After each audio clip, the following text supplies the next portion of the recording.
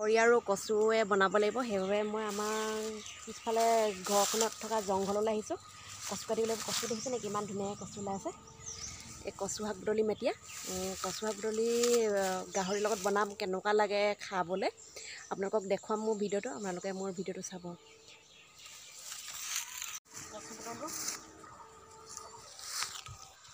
এয়া হৈছে আৰু কচু।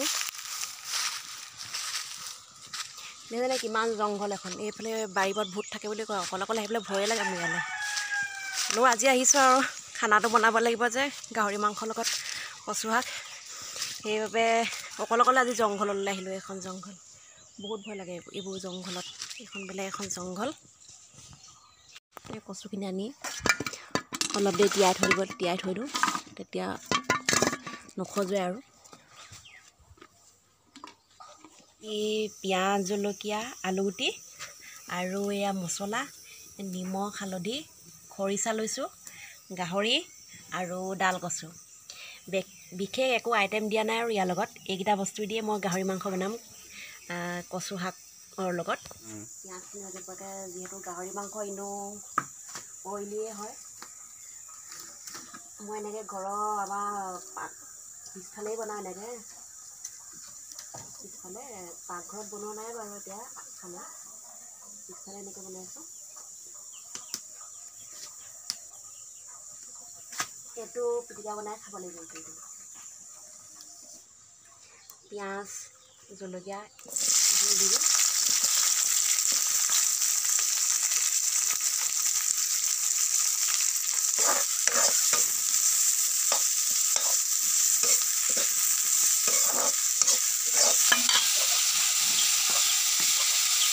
এয়া অলপ নিমখ দি দিম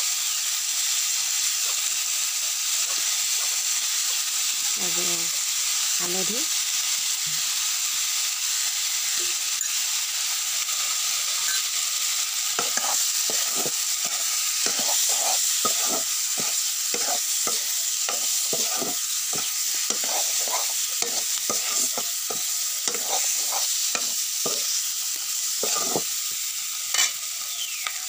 মছলাও বেছি দিয়া নাই অকণমান দিছোঁ।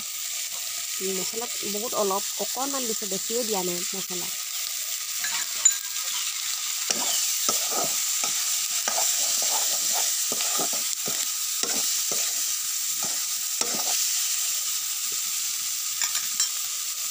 তাৰপিছত দি দিম এয়া আলু বিলাহী।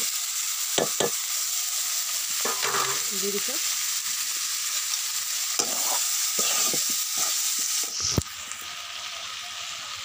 তাৰপিছত এই কচু শাকখিনি দিছোঁ ইয়াৰ ওপৰত। কচু অলপ সৰহকৈ দিছোঁ মই। যিহেতু কচুৰ লগতে বনাইছোঁ। কচু আৰু গাহৰি।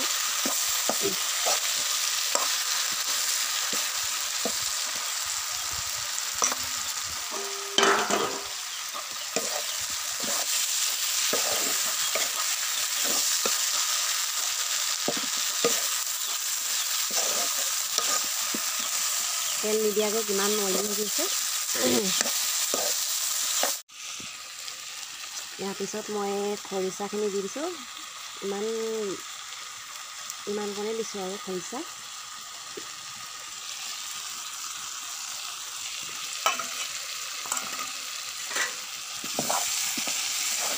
লৰাই দিছোঁ এইদৰে।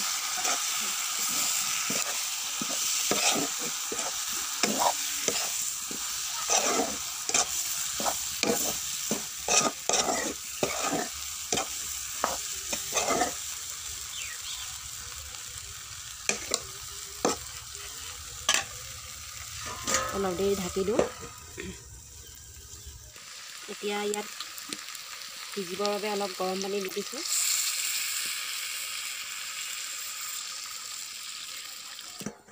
এতিয়া ঢাকনা দি থৈ দিছোঁ আৰু। অলপ দেৰি পিছত খাব হ'ব। আৰু গাহৰি আৰু কচু হৈ গৈছে আৰু বেছি দেৰি নাই।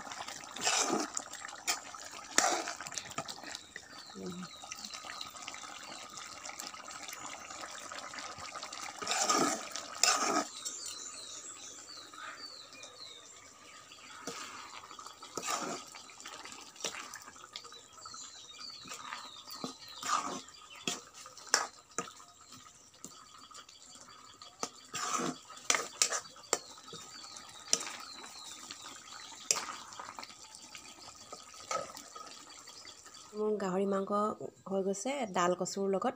ইয়াৰ ওপৰত মই অলপ ধনিয়া পাত ধনিয়া পাত আৰু মান ধনিয়া পাত ছটিয়াই দিছোঁ।